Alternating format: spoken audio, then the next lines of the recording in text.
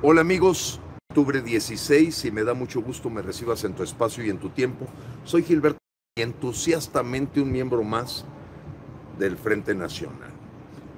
Este Frente Nacional que pues nos ha permitido que levantemos la voz los mexicanos, que estemos presentes en el propio nido de la serpiente, dando nuestros testimonios, testimonios nuestros hechos. Yo me quiero referir, vamos a empezar con eso si les parece, lo que hoy hizo referencia el señor López en su aburridera matutina respecto a nuestro grupo, al grupo Frena. Entonces voy a empezar con eso para em, eh, tocar otros temas mucho más relevantes que lo que aparece aquí, pero bueno, vamos a empezar con eso. Eh, y por eso tampoco es necesario lo de la movilización. La vez pasada dije que ojalá y frena nos permita un día este, utilizar el zócalo, ¿no? Se lo estamos pidiendo para el día primero de diciembre. Eh, y sería un, día, porque sí, una noche y un día para que instalen este el aparato de sonido el zócalo y se los devolvemos. O sea, 24 horas regresan otra vez. Que este, pues pueden ir a la Plaza Santo Domingo, o sea, protegidos como están. nada más que para que podamos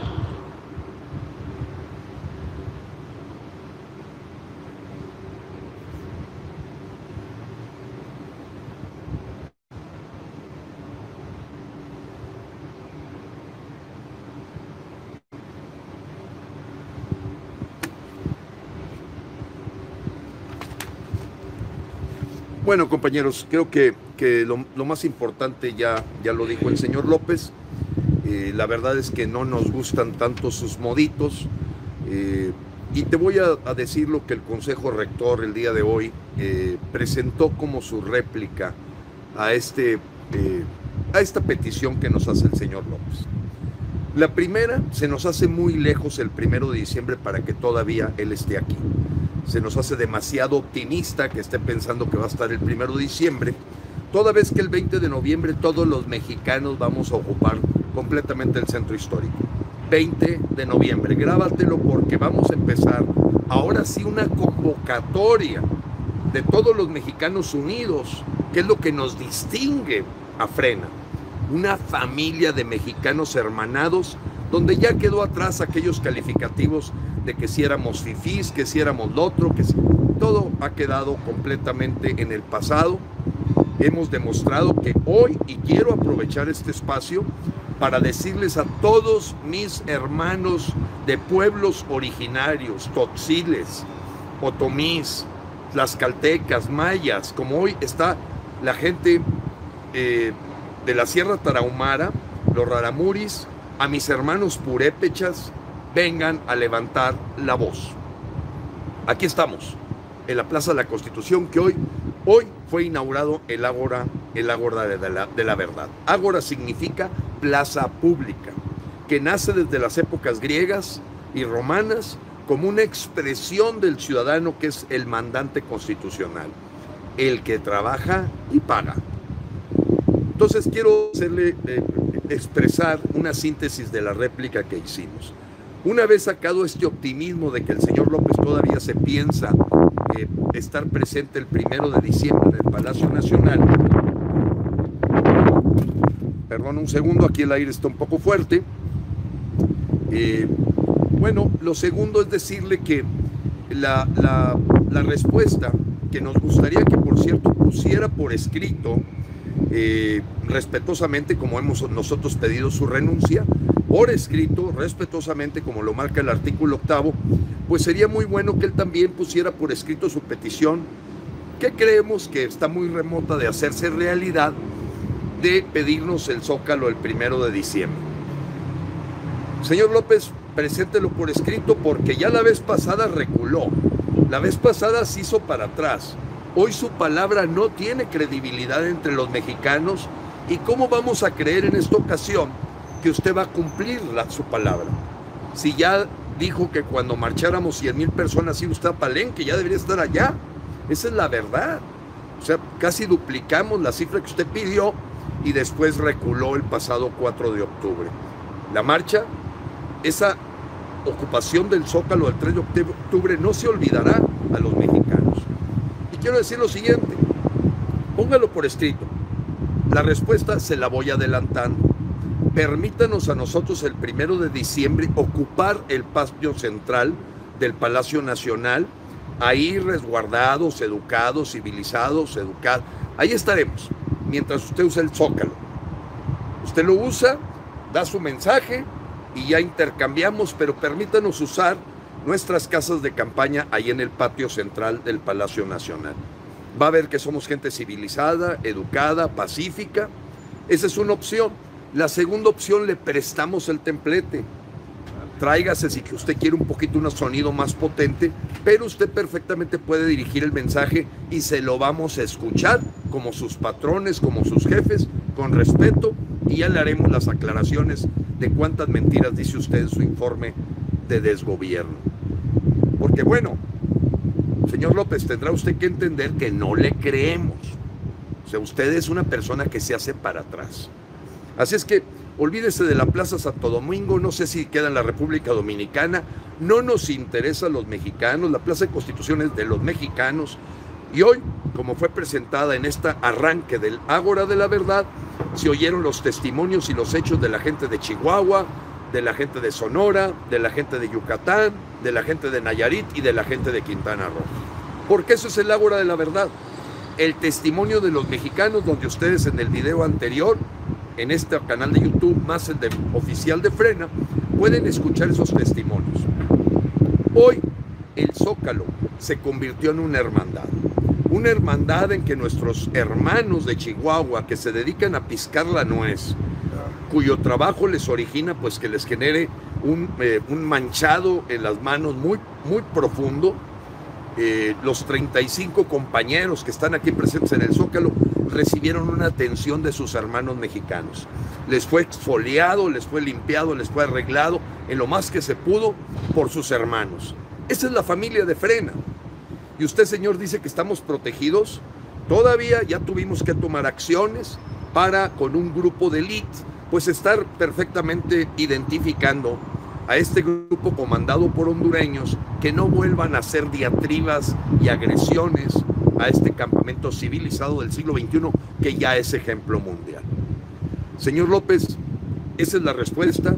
Este, permítanos a nosotros usar el Palacio Nacional que nos pertenece. Nos apostamos en el patio central mientras usted da su informe y ya intercambiamos aunque nosotros lo que proponemos es ya quedarnos en el Palacio Nacional, porque verdaderamente no se vale que haya gobierno rico con pueblo pobre. Usted use las hamacas que quiera usar, ahí puede dormir con su gabinete, que al cabo no hace nada. Y bueno, amigos, eso me hace pasar al siguiente punto. La detención del anterior secretario de la Defensa, que me, como mexicano nos avergüenza, nos hace sentir humillados, porque para nosotros el heroico eh, Colegio Militar y la Secretaría de la Defensa son una institución que nos merece todo el respeto. Seguramente van a caer los cómplices del general Cienfuegos, la gente antipatriota y antimexicano, que ocupando posiciones de defensa de la soberanía nacional, participaron en esta alianza, confabulación y complicidad con cuerpos del crimen organizado. Nadie puede olvidar, independientemente, señor López, de lo que usted diga, que el señor Luis Crescencio es casi un alumno destacado del señor Cienfuegos.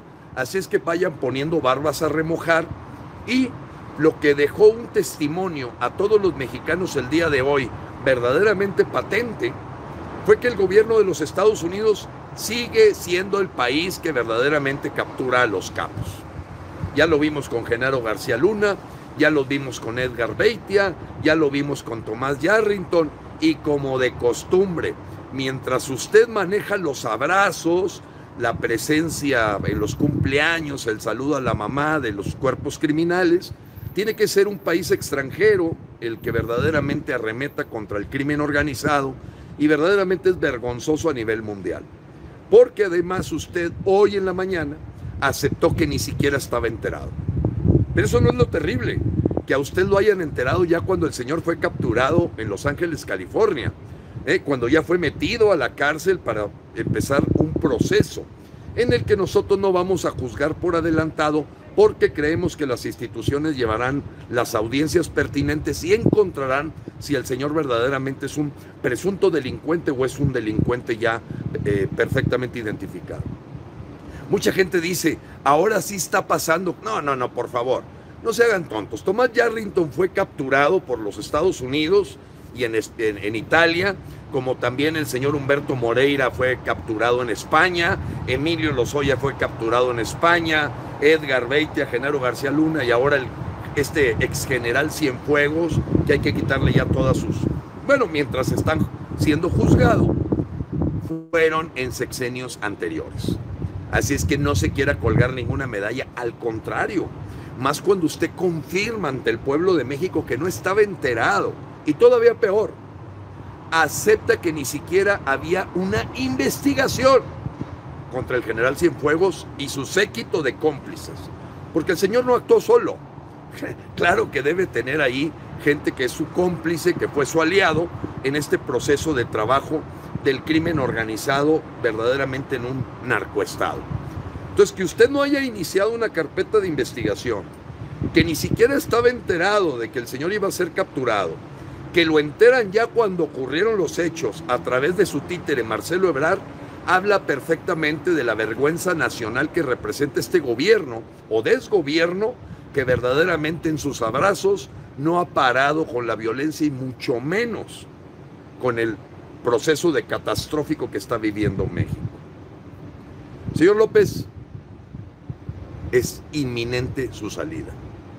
Ponga barbas a remojar porque seguramente van a empezar a aparecer asuntos que implican a su familia como ya se ha sabido por gente que investiga y hace reportajes Así es que yo creo que su cara desfigurada de esta mañana, al estar anunciando que usted sí es un defensor de la corrupción y que el principal problema es la corrupción, pues empiece por su familia, por Pío López Obrador, sus cuñadas, sus hijos, eh, sus nueras que andan allá apoderándose de la isla de Holbox.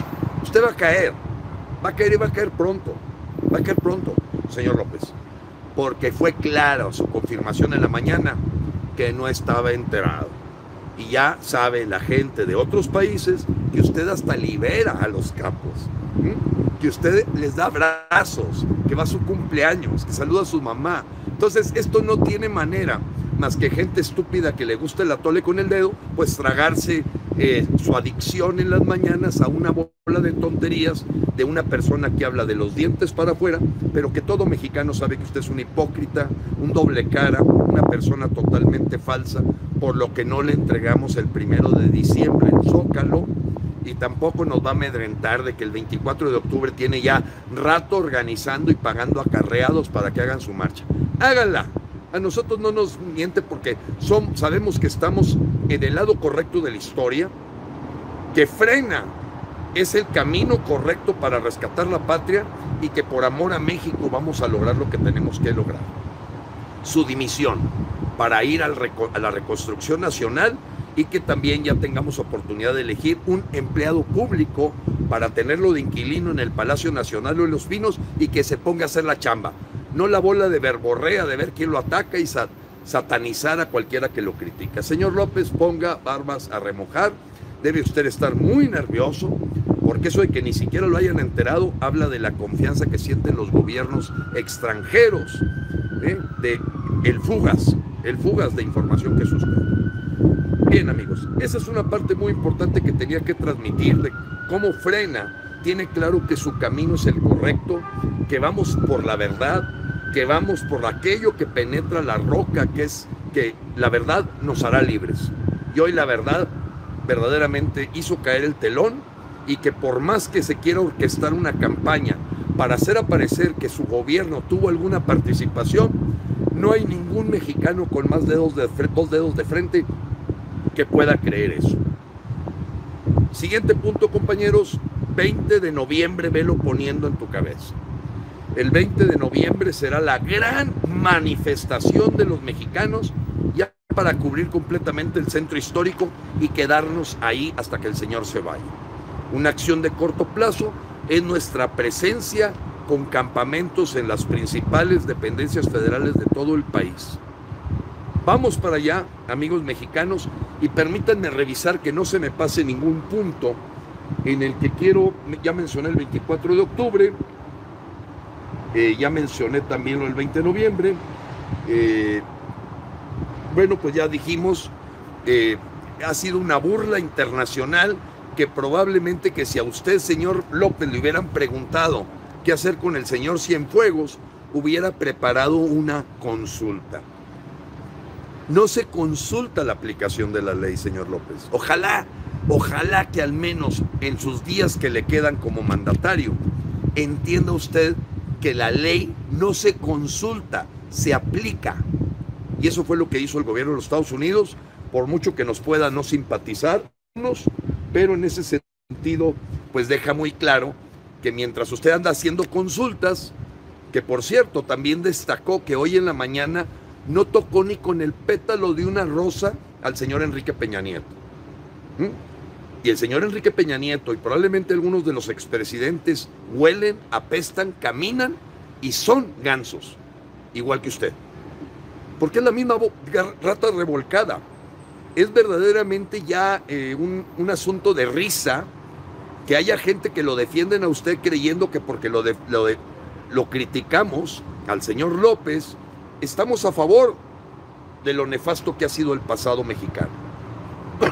Cuando nosotros lo que quisiéramos es ver ya en la cárcel a los expresidentes y no estar esperando con sus consultas a que prescriban sus delitos y Poncio Pilato se lavó las manos y le armó un atole con el dedo a los mexicanos de que iba detrás de los ladrones y presuntos delincuentes expresidentes y resulta que están prescribiendo sus delitos, porque usted anda atorado con una consulta de la que se pitorrea toda la Cámara Alta y Baja de los Estados Unidos. Bueno, en, a nivel mundial.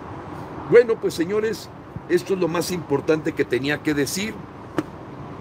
Frena, es unión. Frena, no discrimina. Frena es la voz de los mexicanos que trabajan y que pagan impuestos y que son el patrón, el jefe de los servidores públicos, donde todavía muchos políticos no se alcanzan a ubicar de lo que dice la Carta Magna. Ustedes trabajan para nuestro beneficio, para nosotros, no para ustedes. Y frena se está convirtiendo hoy en la conciencia que se está derramando colectivamente en todo mexicano para entender que si el servidor no sirve o el funcionario no funciona para afuera o a la cárcel o a donde tenga que estar. Frena, va a seguir creciendo como la espuma.